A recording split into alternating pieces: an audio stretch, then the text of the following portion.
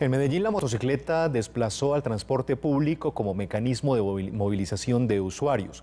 Superó al metro y a los demás medios colectivos e individuales que cada día mueven pasajeros en los 10 municipios del Valle de Aburrá. Así lo revela un informe de la Universidad Nacional en Medellín hecho por el área metropolitana, entidad que oficia como autoridad de transporte en la región. De, las más de, de, los más de 5 millones de motos que recorren las vías del país, cerca del 20% están en Antioquia.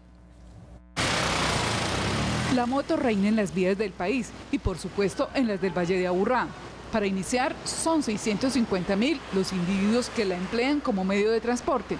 Sin embargo, son muchos más. Tenemos unos viajes de carga que llegan a los establecimientos comerciales, a las tiendas, a llevar productos en cerca de 20 mil viajes.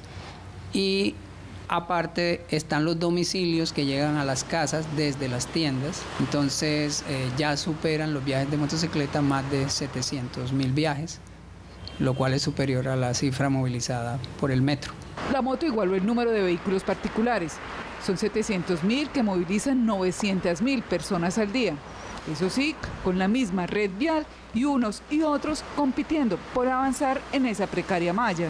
El objetivo de ese estudio fue conocer los flujos y los patrones de viaje de las personas en, el Valle de la Burra. De allí resultó pues que hay 5.700.000 viajes en, toda la, región. Y el auto y la moto eh, movilizan cerca de millón y medio de personas. Es decir, que pese a que en casi 19 años de existencia el metro pasó de acoger 200.000 a 550.000 pasajeros día, se quedó corto frente a la demanda. También tenemos que establecer políticas para que eh, se incentive mucho más el uso de los medios masivos y del transporte público. Por eso no hay que bajar la guardia y estar mejorando cada vez la atractividad de estos modos. De acuerdo con el Fondo de Prevención Vial, en el 42% de los incidentes de tránsito del país está involucrada una moto. En 2013 murieron en Colombia 1.800 motociclistas y otros 16.000 quedaron heridos.